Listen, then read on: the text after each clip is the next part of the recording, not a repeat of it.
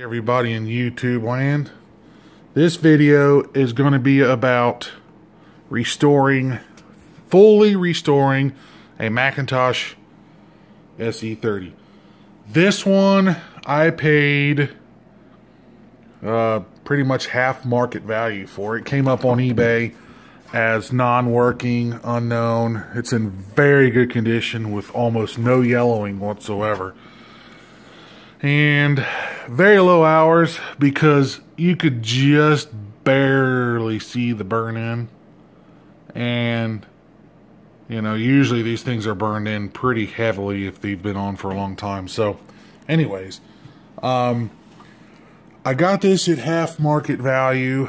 I took a gamble on it because the se30 that i have is really yellowed and actually the backstory behind it was it started life off of as an SE. When I was in high school, I don't know, about 12 years ago, the SE was laying in the back of the IT networking closet. So, lonely little SE. And this was before I even got into collecting vintage computers at all. Uh, I've had these machines before that, but I try. I've got them just to use them, learn about them. And when I've exhausted all their possibilities for the time period, which was 97, 98, 99, I got rid of all of them. But then the nostalgia started to kick in in 2003 or so, which is when I found the SE. While the SE was all fine and dandy, but dumbass me tried to plug a NuBus card into the SE's logic board.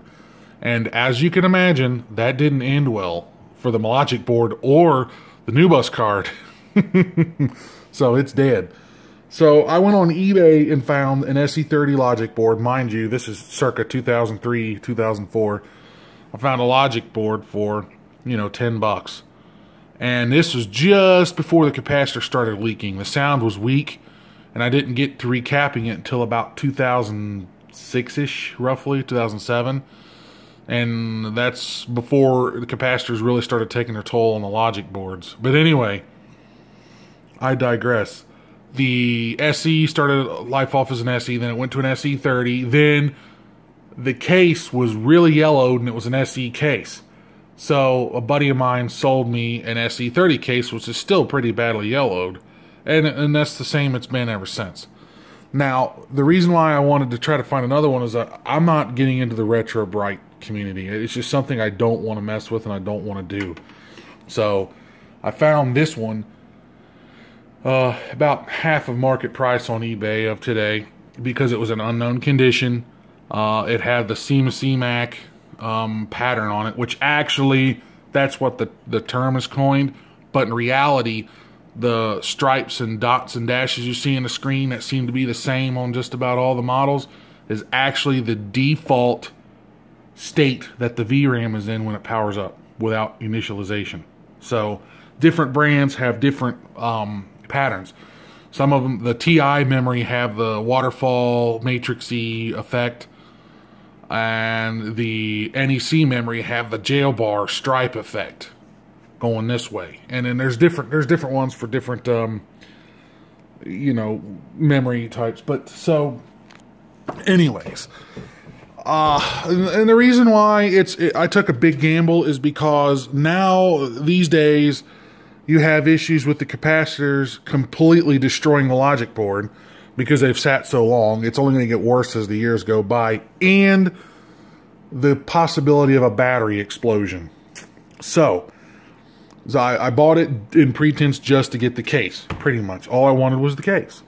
But when I took it apart, you'd be happy to know that the logic board did not suffer any battery damage. It did not have the Maxell bomb in it. It actually had a. Uh, a Saft brand or something, a white and green one, and uh, it was actually fairly fairly good. You know, as far as the way it looked, it wasn't you know exploded or anything like that. But I'm sure the battery's long since dead because it was from 1989. Now, um, so I took the logic board out, took it apart, took the bucket apart, did a quick inspection, just just a quick inspection, and then and then it sat for a couple weeks. So I took the logic board out and I noticed again right away that the UE8, which seems to get it the worst, is pretty bad. And it was worse than this because the first thing I did immediately when I received the machine was take it apart, make sure the battery was out of it, and, and then it didn't leak. So thank God for that. And I uh, washed the motherboard in the dishwasher. Yeah, I do that, and only just to get the capacitor goo out of the board. And as soon as the washing was done, I had the oven ready at about 185 degrees Fahrenheit, just under the boiling point of water to let the board dry out for about 15 20 minutes. And this is the result. The bad capacitors literally just fell off the board. I didn't even have to do any desoldering whatsoever. But I will have to clean these up because there's some bad corrosion down in there. So there's possibility that circuit traces are broken in here. But anyways, the reason why I want to work on this logic board is because even though I've already got a working SE30, I'm probably going to, I'm going to fully restore this SE30. Then I'm going to move my logic board in this one because it was, it has the less capacitor damage of all SE30s out there. And this board will go in the other case and I will sell the other SE30 as working to uh, recover my costs. Uh, because it's very, it's not very common to get an SE30 in working condition these days. But anyway, so that's the logic board. There's no serious damage as far as I can tell. Just your typical corrosion from capacitor disasters. So chances are that the UE8 is going to have to be replaced because they just do. And the reason why is when these things have got capacitor electrolyte laying all over it and you try to power it up, it just shorts everything out. It doesn't go bad by sitting, it goes bad by people plugging it in. So, and the sound amplifier, which is right here, is in pretty pretty bad condition too. Yeah, I mean, look at that. I don't I don't know if the internal speaker is going to work properly or not. We will have to um, play that one by ear. If not, a TL071 is a very common op amp, and those are your 3904, 3906. Actually, this is a MMBTA 56, and this is an MMBTA 06. So I can just replace that. No big deal. Um, and then that should be it. Uh, obviously, I have to replace this and replace this, you know, and get all fun stuff going. So that's the logic board in a nutshell. I'll go ahead and put it in the bucket and get it out of the way because we need to the desk space here or the kitchen table electronics repair space to do a quick inspection of this. Uh, all right. Nothing stands out as far as any serious or major um, failures here. I have not attempted to power this machine up since I purchased it. And I just want to go in and do a, a full restoration before I do that. Uh, it has the typical 40 megabyte Quantum Pro drive, which these things are notorious. I've done a video years ago about the actuator arm sticking, and I had to take the lid off and move the arm to get it to spin up. Come to find out, I had figured out, which now the whole internet knows about it because the word's been spread, you know, and there's no problem with that. There's a rubber home position stopper in here that gets stuck. Now, I've seen two versions of these drives. The rubber bumper's up here by the actuator magnets, which is easy to get to, and there's the 80 megabyte drives which put them under the platter. So you ha- and luckily it's a single platter, so you have to remove the platter. You have to remove the actuator arm, protect the heads from smacking together so you don't get a cylinder misalignment, then remove the platter, replace the rubber bumper, and put it all back together again. I've already done this with one 80 megabyte drive and the other 80 megabyte drive I wasn't careful enough with the heads and actually ruined the head so you cannot let the heads smack together. The minute you do, you'll cause lateral movement. Or you'll bend the spring so instead of the heads coming together like this, they come together like this now or like that, which will cause a cylinder misalignment and then it just it won't work ever again. So anyway, it's a it's apparently it's well, it's pretty apparent that this thing is low hours because usually when these things are high hours, the glue on the flyback starts to turn a pretty poor brown. and that's pretty much yellow. It's starting to turn brown a little bit down in there from a, from being caged in with the heat. So it's got some hours on it, but not nearly as much as I've seen it. The other telltale sign is this connector here is not turning brown from bad connections. So that's a plus. And the let's inspect the cathode on the CRT. Easy way by doing that is pulling the neck board off like such. You know, clean the back of the CRT out. And let's inspect the cathode and see if we can get down in there. I don't know if my camera will focus in that far. It doesn't look like it will. So, no, it will not focus in that far. But yeah, I don't really see any bluing in the cathode. No, not at all. So, yeah, I don't see any bluing whatsoever. So I think we're all right there. Um, I'm going to go ahead and leave this off because I want to pull this board out anyway. And the other thing to check for is this capacitor right here. This guy couples the horizontal yoke winding to the horizontal circuit. It goes through this capacitor. And back back in these days, I guess electrolytic was the only thing available, but any competent engineer these days wouldn't use an electrolytic in that circuit. They'd use a film cap like that one. So why they didn't, why they chose not to use that there is beyond me. But film caps work the best. See a little bit of hot glue on that regulator. Yeah, I have all the parts on hand to recap this thing, and so we're going to do a full recap of the analog board, and we're going to do a full recap of the power supply. And that is a Sony CR44. The schematics are available to that power supply if you wish to uh, take a look at those. They're online, they can be found anywhere. Uh, looks like it's made in the ninth week of 1989. This is a fairly early production run. Because I think the SE, when was the SE30 released? I don't recall.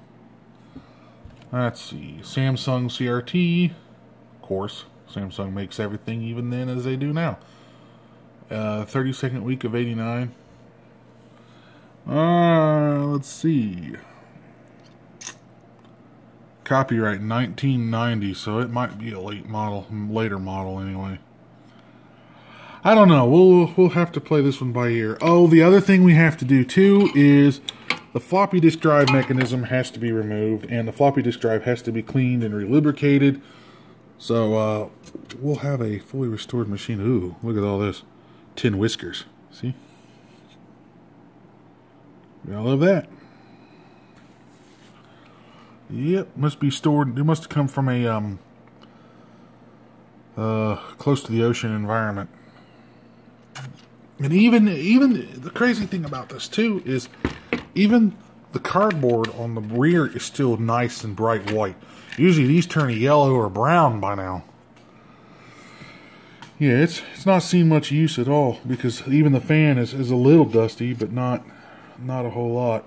So we might have got, we might have got a good one here. Anyway, I'll be back after I take all these boards out and everything out of here. Completely gut this thing. Before we do that, I think we're going to focus our work on the logic board. Just because I'm curious if this logic board is even going to function properly. So, let's see. I think the first thing we're going to do is I'm going to remove that because it's pretty much garbage. I want to remove that.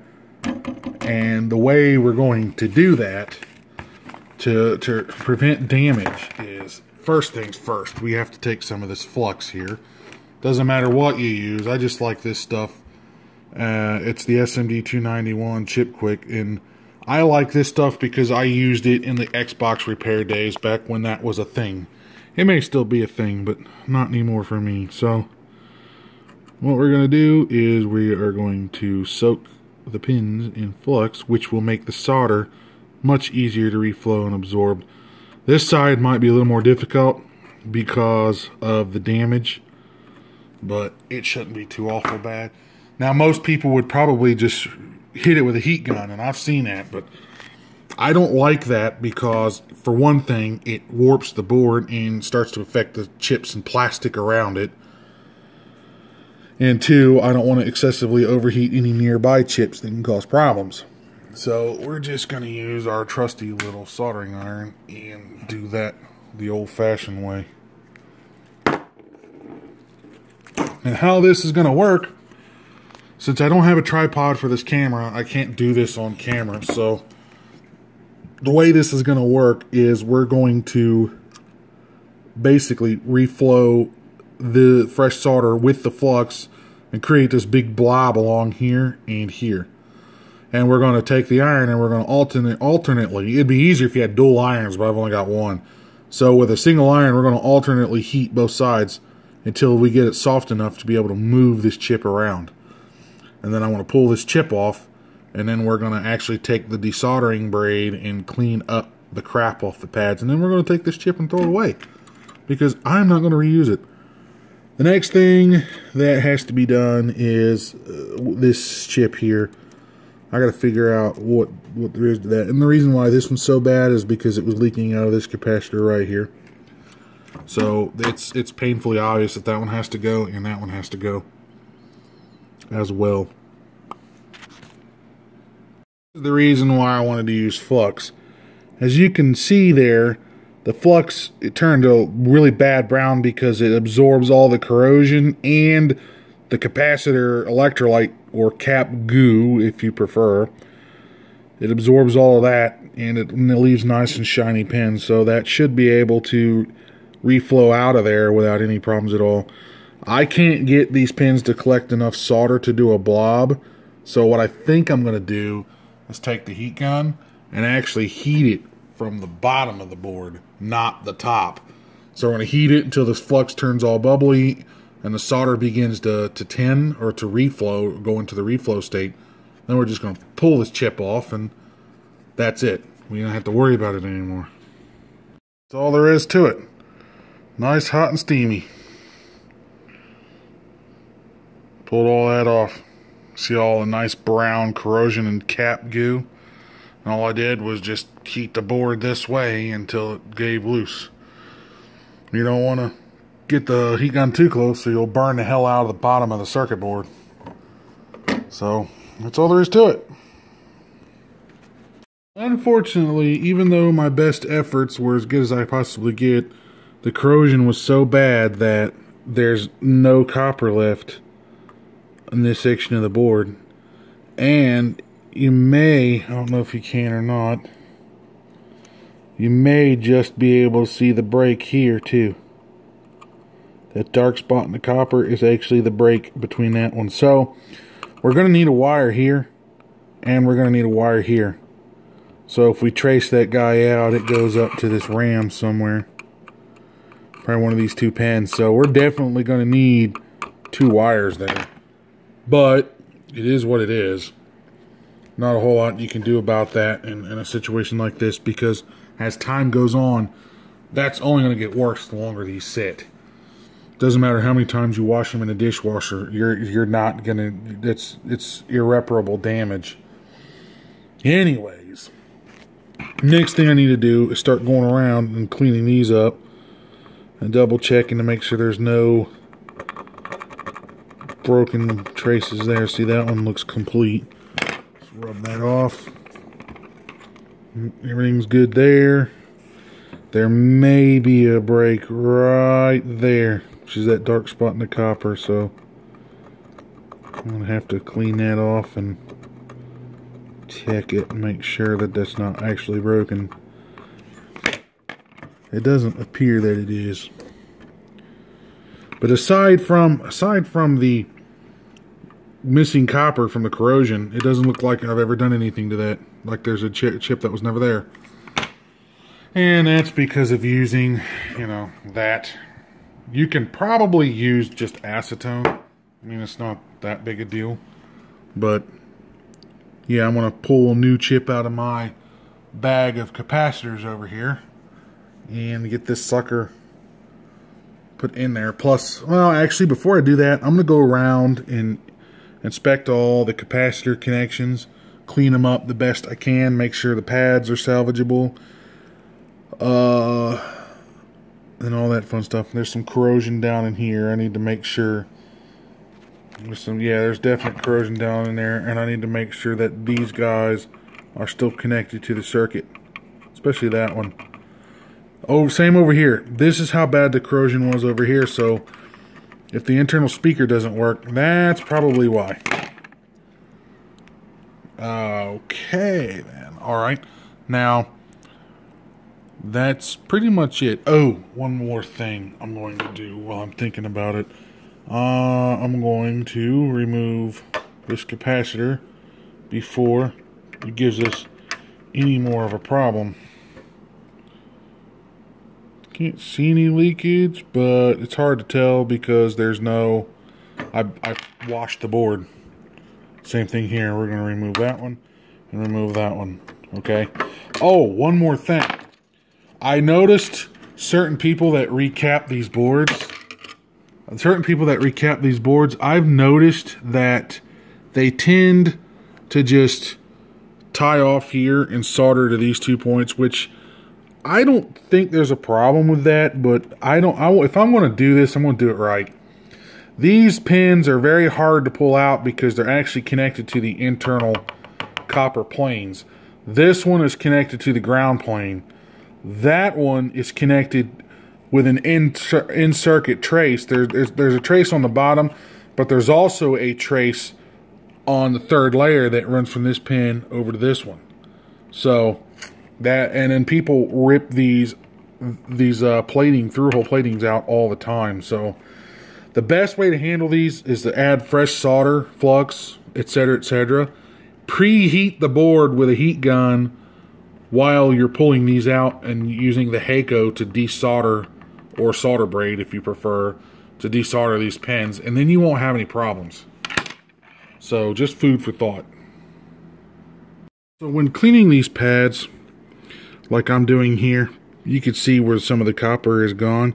Be very very careful because the capacitor electrolyte has sat here and corroded for so long that these uh, pads want to come off. Like this one here just let loose on me. And it is just an unfortunate side effect for letting these sit too long. So just be very, very careful. Chances are this isn't the only one that's going to want to lift off. I'm going to have a bunch of them over here with the same issue. So um, just think about that when restoring one of these machines. That's why I can't emphasize enough that if you're going to do just the dishwasher trick and leave it alone, this is what you're going to end up with if you don't get to it right away. Also, there are multitudes of different ways to clean these pads up, but the way that I do it is I use, again, a little bit of this flux. I add fresh solder and move the tip back and forth a little bit just to kind of get it in there. Then I go behind it with the desoldering braid and just using a lateral motion, I remove the old solder. And again, you got to be careful because you don't want to rip the pad off, but you can kind of gets it. I'm sure there's many different ways to do it. You can use a Dremel if you so desire, if you've got a very steady hand, but I don't recommend using a Dremel because you just kind of run off and do a bunch of other damage to the board that's unnecessary, but to each their own. There's many different ways to do this, but that's the way that I found, and it seems to be the most effective for me. Is using the flux solder and solder braid method to clean all the crap up, and then go back behind it with some flux remover. This is after a douse of flux remover, PCB cleaner. And they're all clean except there's some crap left on this one which I need to get back to and go over it again. And also this allows me to go through and make sure that there's no broken connections between here and there and you can see where the copper's gone. So and I this pad actually connects over to this point here so I need to check it with a multimeter and make sure that's good. Same thing with there and then every one of these really just as you're doing these just make sure that the verify the electrical connections and if they're broken make note of it. And that way after you put all the new caps in you can make the appropriate jumper wires which is what I'm gonna do. So I already know I need two over here and I got to go back to the multimeter and check all these to make sure I don't need any there and if I do you know etc or if you rip the pad off you're definitely going to need a jumper wire Uh, my case is if you do rip one of these off, it's not the end of the world. Just tack it to the opposite pad if there's one left and use some glue to knock it so it can't move around and run the jumper wire to the appropriate location. Where that location is, you ask? Well, easiest thing to do is to follow a schematic, okay? Or um, if you don't have a schematic, there are some resources online of other machines where people want to know where the tie points are for the electrical circuitry. But before you start ripping pads off, that's another thing you can do is meter this to figure out where they go beforehand. Just make a mental note. There's there's many different ways to do this, but since this is the SE30, the schematics are available online. So if you lose one of these pads, it's not the end of the world. Tip when you're cleaning these off with a solder braid or rotary tool or anything else, make sure not to snag any uh, traces that run nearby, like this one and these.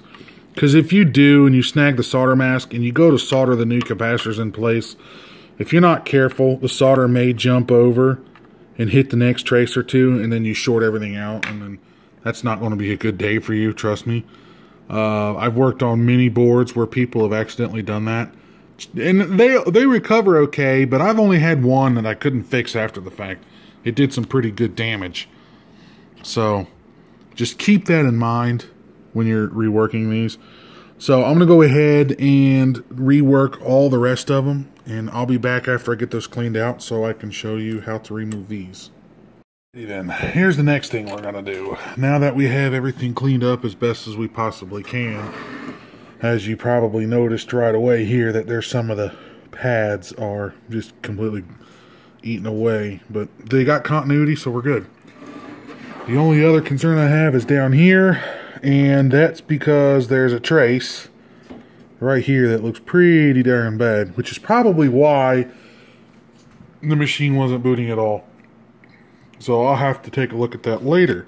But for now, what I want to focus on is removing these legs. And the easiest way to do that, in my opinion, and my opinion seems to be good in this case, is we are going to basically flux the connections as soon as I can figure out where it is. Here's one. Flux that one. Alright. And here's the other one. I'm going to do the same thing to this one too. Okay. And the next step is to heat the board up with the heat gun down here. And I have the Hakko warming up. So, without further ado, get this guy warmed and we'll be rocking and rolling. Be right back. A lot more difficult than it should have been because the pads were corroded from the same capacitor goo, but I managed to get it out without destroying anything.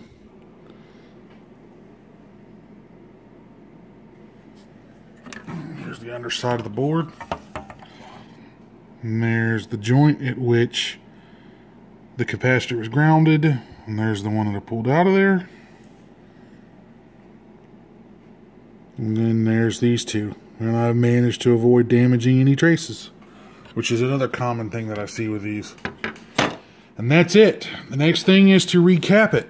And that process I will save until after I cap it all, and then I'll film it recapped because I can't do a time lapse. Anyway, got it all finished.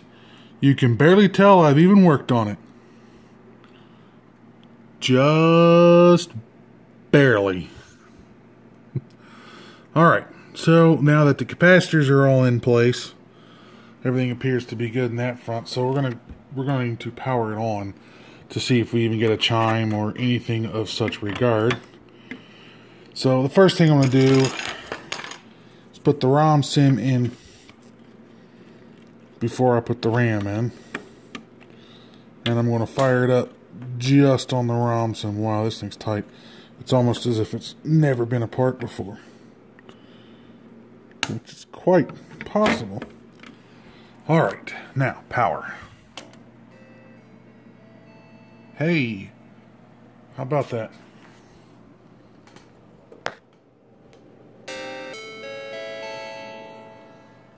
So, now the next step is we're pulling one and a half amps on the 5 volt rail and jelly beans on the 12 volt rail. You have to have a 12 volt rail when testing these machines. There's no other way to get around that because the 12 volt rail is used to power this sound circuit over here. Well, if you can be like, well, why don't you just power it up on 5 volts? You don't need the sound right now. Oh, yes, I do, because not only does the Sony sound chip control the sound, it also controls the reset line for the whole system. So if that Sony chip doesn't get power, it never comes out of reset. So, uh, Mac no boot. Let's try it again, shall we? Hey, what do you know? We got a chime. So, step two is to pull out that machine there, even though that one's not restored yet. We'll just go ahead and hook it all up just to see if we get video and if we can get SCSI boot or any of that fun stuff. Don't try this at home, folks. Will that cable even reach up there? No, it won't. Ooh, I gotta be careful. I'm gonna be very, very careful. Alright, next thing I want to do is put the power cord in the power supply. All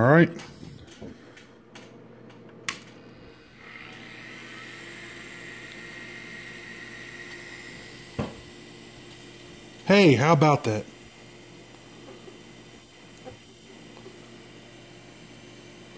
You've seen it here, folks. It's the first time I fired up the logic board since I put all new caps in it.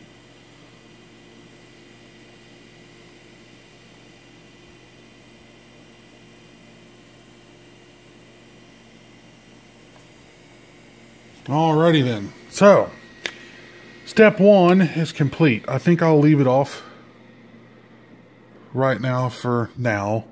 And I will pick this back up in another installment because this is a very, very uh, lengthy project here. So, logic board is recapped. Logic board is functioning. So, the next step is to strip this mess down and start laying out the capacitors and recapping all of that fun stuff. So until next time, thank you for watching. If you have a comment, please feel free to leave one.